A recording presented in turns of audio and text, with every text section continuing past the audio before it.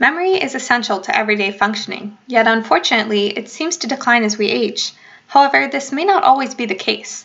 What we test in the lab is often intentional memory that we consciously try to bring to mind, even though much of what we remember in everyday life comes to mind without any effort. Clearly, the memories that pop spontaneously into our heads must be different than the ones that we try to recall for a test or bring to mind on our shopping lists.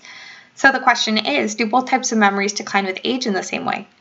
With support from NSERC and Brock University, our research aims to use EEG to compare the brain activity behind intentional and unintentional memory retrieval. We think that brain responses of older and younger adults will be different when intentionally trying to remember something, which may result in a poorer performance for older adults. But when given an unintentional memory task, they may actually perform in the same way. This research may help to counter common stereotypes of aging by showing that certain aspects of memory are preserved with age. We hope to provide a more optimistic outlook on aging and establish the basis from which future memory interventions can be developed.